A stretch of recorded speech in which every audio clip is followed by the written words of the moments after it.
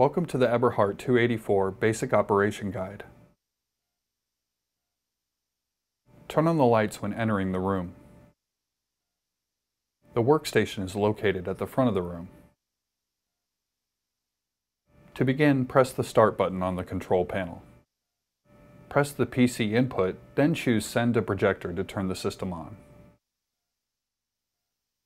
There are also laptop inputs, a document camera, Blu-ray player, and ShareLink device.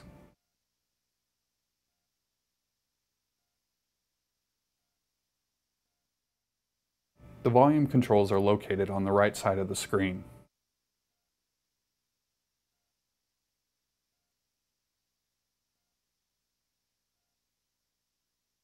To quickly hide the display, press the mute button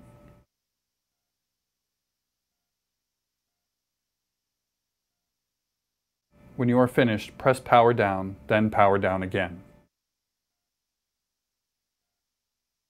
Be sure to turn off the lights when leaving the room. If you have any questions, please contact 6-TECH at uncg.edu.